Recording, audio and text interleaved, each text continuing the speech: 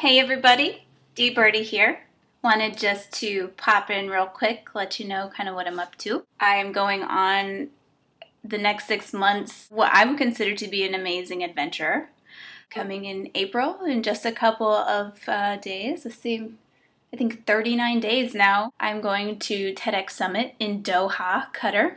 I don't know if you know where that is, but it is right smack dab in the Middle East. It is going to be an excellent opportunity to meet a number of my TEDx kindred spirits and just kind of say hi. You would never guess what organizers do when you put them together. Surprise, surprise, they organize. oh, I didn't mean to rhyme. But anyway, I'll be going off to Colorado for a little bit of a vacation after that because I think I'll be tired after Qatar.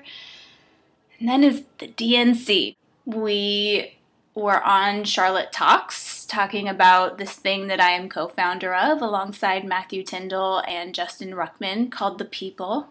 You can go visit it at PPLDNC on Twitters and on the web it is theppl.us.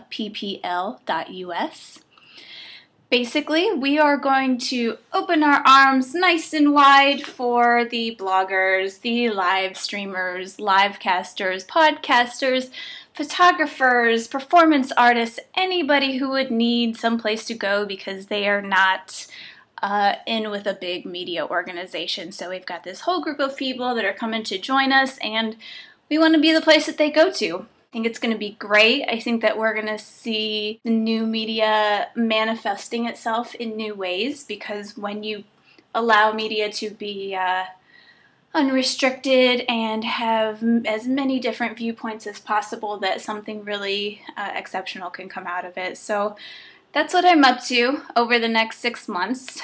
I will be checking in periodically, and then I think, don't hold me to this because I might change my mind.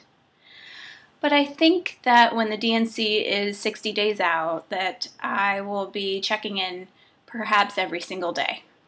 I'm considering it because it will probably be an emotional roller coaster. Oh my god, oh my god! Ah, ah. I think it'll be neat to just kind of put it out there. Not that anybody would care to see me. Oh my god, oh my god! Ah, but uh, I'm just going to put it out there and document the whole process.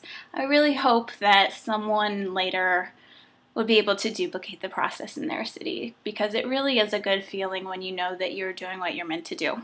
So, anyhow, I'll check back in soon and uh, 再见。